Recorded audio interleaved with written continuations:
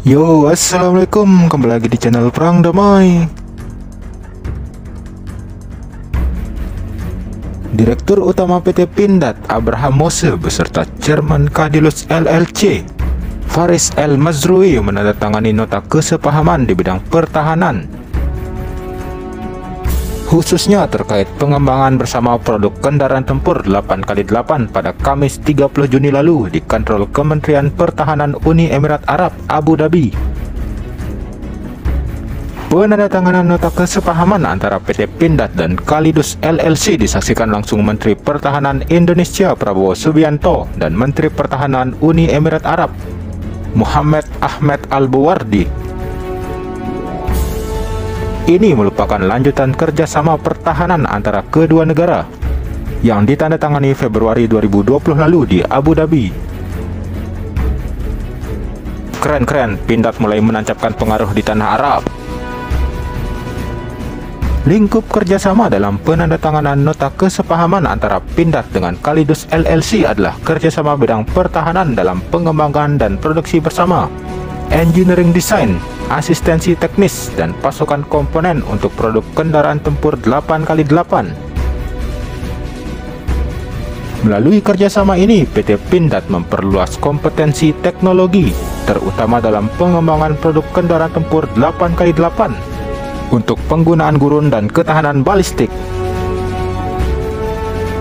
Jadi nambah ilmu baru ya, selama ini kendaraan Pindad kan spesifikasinya ketahanan di Indonesia, sekarang sudah bisa digurun.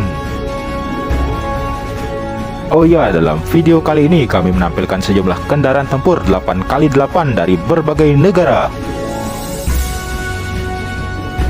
Tentunya masing-masing hadir dengan kelebihan dan spesifikasi khusus tersendiri termasuk buatan Indonesia. Check it out guys! Selain terkait kendaraan tempur 8x8, kerjasama Indonesia dengan Abu Dhabi juga terkait matra udara. PTDI juga memperluas cakupan bisnisnya di Uni Emirat Arab bersama dengan Kalidus LLC.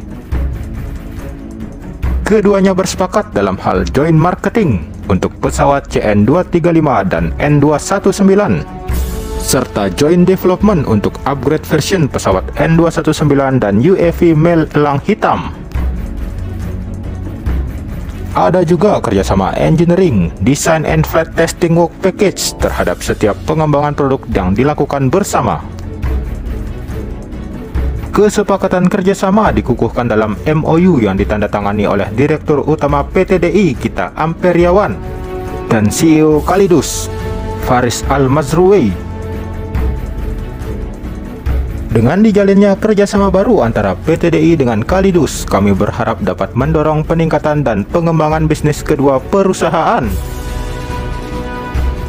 Termasuk akselerasi strategi pemasaran produk PTDI di kawasan Timur Tengah dan Asia Tenggara, kata Gita Amperiawan.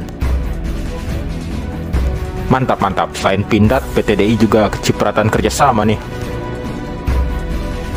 Kolaborasi bisnis antara PTDI dengan Kalidus merupakan tindak lanjut dari kerjasama pertahanan antara Kementerian Pertahanan Indonesia dengan Kementerian Pertahanan UAE dalam ilmu pengetahuan dan teknologi industri pertahanan.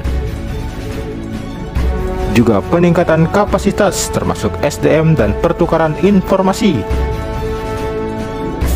serta pandangan terkait kepentingan kedua negara dalam hal pertahanan dan keamanan. Keren, keren, keren. Kita dukung. Sekian untuk episode bermanfaat tentang PT Pindad dan PTDI kali ini. Wassalam.